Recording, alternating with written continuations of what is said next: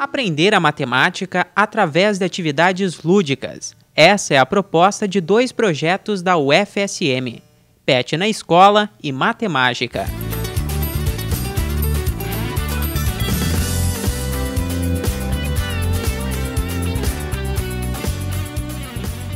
O PET na Escola é uma atividade desenvolvida pelo Programa de Educação Tutorial da Matemática, no qual alunos aplicam aquilo que é aprendido em sala de aula em jogos e brincadeiras.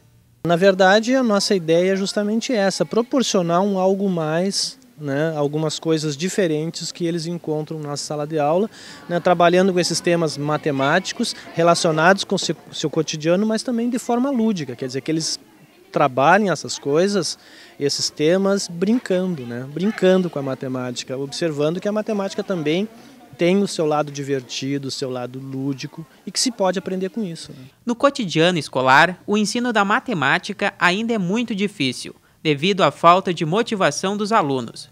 E é exatamente isso que o projeto busca contornar.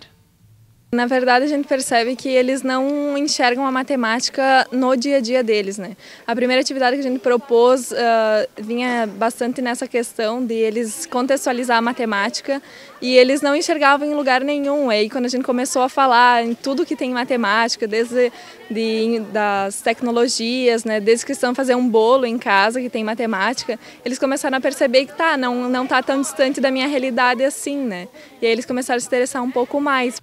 Outro projeto lúdico que explora esta ciência exata é o da matemática, desenvolvido em escolas de Santa Maria através de uma parceria com o Programa Municipal de Educação Fiscal. O Programa Municipal de Educação Fiscal é desenvolvido aqui em Santa Maria desde 2002, com o objetivo de conscientizar a sociedade, através da escola, da função socioeconômica do tributo. Isso quer dizer o quê? que nós, pessoas da comunidade, pagamos impostos e, como cidadãos, ah, devemos receber serviços públicos de qualidade. O que a gente espera com o programa de educação fiscal é mostrar à sociedade o quanto nós pagamos com impostos e que esses impostos devem retornar à sociedade como serviços públicos.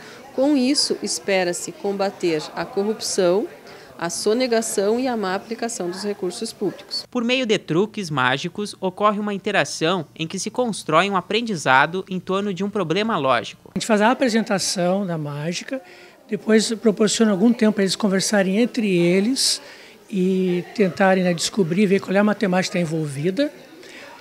Aí depois nós socializamos, pedimos que eles compartilhem as suas descobertas, e aí então, né, uh, complementamos os comentários deles ou então abrimos um pouco mais o conteúdo e explicamos mais o que é, qual é a matemática que está envolvida, né?